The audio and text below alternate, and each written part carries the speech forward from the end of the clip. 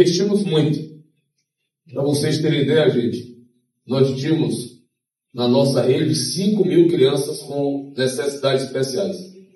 Do ano passado para esse ano aumentou para 8 mil, 3 mil pessoas. Eu comecei a me perguntar o que é que houve. Aí o resultado de um trabalho.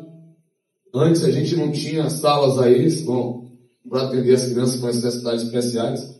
Todas as novas escolas passaram a ter, construímos outras 30 salas em outras escolas.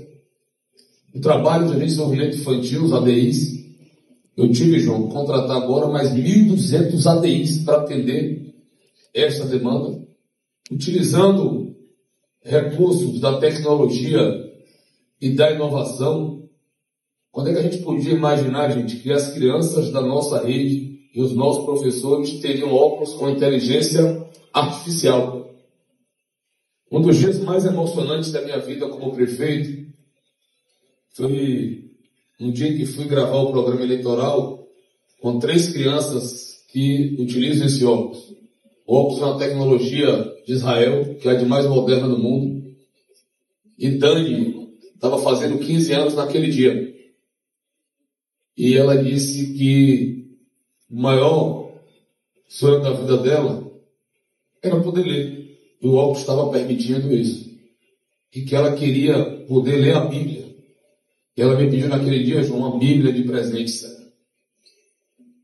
Porque ela quer ser cantora gospel.